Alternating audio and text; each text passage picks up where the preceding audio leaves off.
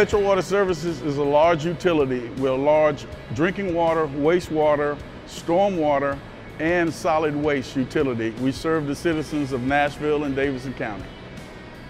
We are at the Central Water Reclamation Facility. It's a 330 million gallon per day uh, wastewater treatment plant and it accepts wastewater flow from the immediate downtown Nashville area and surrounding areas as far away as Nolensville, Tennessee. Metro Water Services is under a consent decree, which is an agreement between the government of Nashville and Davidson County and the U.S. Department of Justice. And what that agreement is, is that Nashville commits to doing certain things to our sewer system to reduce overflows from the sanitary and combined sewer systems.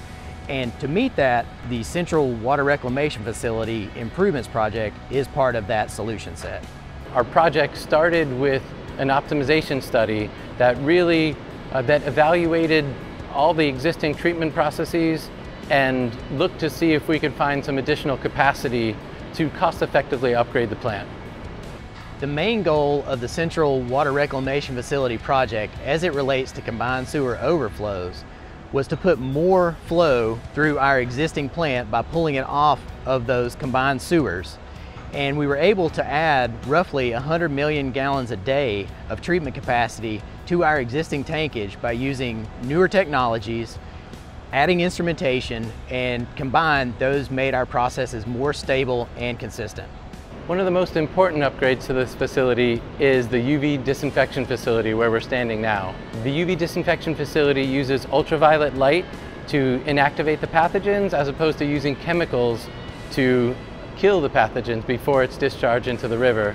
The benefits of UV technology are, one, it's safer for our employees, uh, two, it's safer for the community, and it's a much inherent safer technology for disinfection. A further highlight of this project are the secondary clarifier improvements.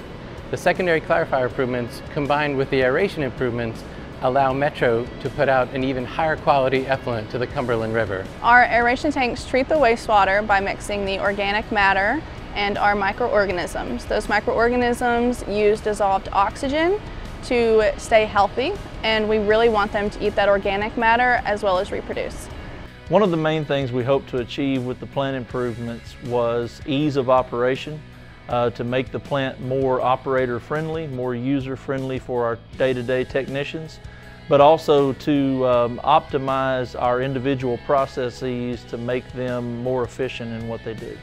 When designing uh, treatment plants with operators in mind, it's very helpful for keeping that system maintained. And if you keep that main system maintained, then you keep the facility in compliance.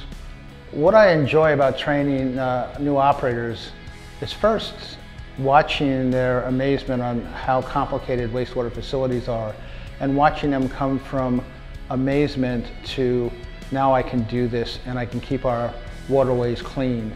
This project is important to me because we were able to increase the capacity of the central plant and improve the operability, maintainability, and overall reliability of the treatment plant without building additional unit processes. That's sustainable and that's very responsible way for Metro to spend its customers' money.